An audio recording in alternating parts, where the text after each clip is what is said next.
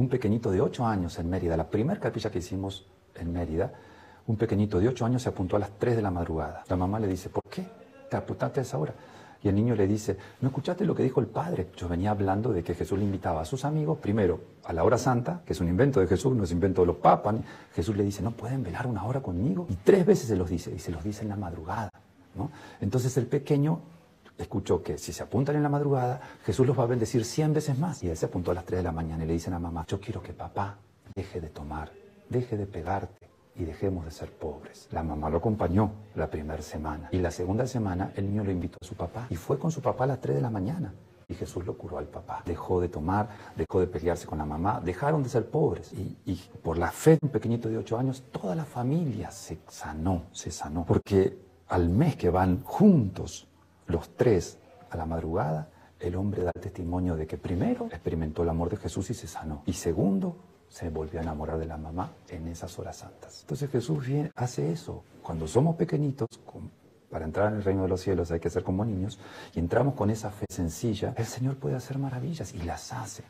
Miren qué maravilloso y qué poderosa es la oración y la fe de un niño tan pequeño. Y es que las oraciones de los niños son súper poderosas porque son hechas con pura fe y con tanta sencillez y tanta humildad que siempre son escuchadas. Ya decía nuestro Señor, para entrar al reino de los cielos hay que ser como niño. Y aquí está el gran ejemplo de nosotros los grandes de inculcarles a los niños, a los jóvenes, el amor a Jesús sacramentado, el amor a la Santísima Virgen, el amor al rosario, el amor a la Santa Misa desde pequeños y enseñarles, decirles, mira, esto es lo que sucede en la Santa Misa. Esto es lo que sucede cuando consagran el pan y el vino. Esto es, y ellos lo van creyendo y lo guardarán para toda su vida. Pero hay que inculcarles.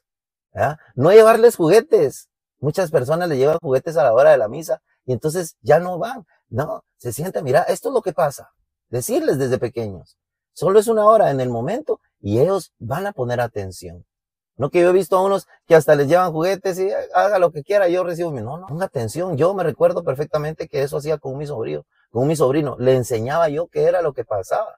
Y ahora es gran devoto de la Santa Misa, gran devoto de, de, de la Virgen. Entonces, créanme, de verdad, y esto sí, sin miedo a equivocarme, sé que la oración de los niños es tan poderosa porque es con una gran sencillez y con una gran sencillez y todo lo que usted les diga a los niños ellos lo van a creer, ellos lo van a creer. Usted sea lo que sea que cuente, ellos se lo van a creer.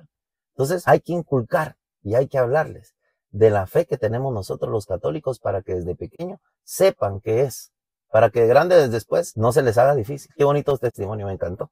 Se los dejo ahí. Que Dios me los bendiga, la Virgen me los cura con su santo manto. Bye, pues.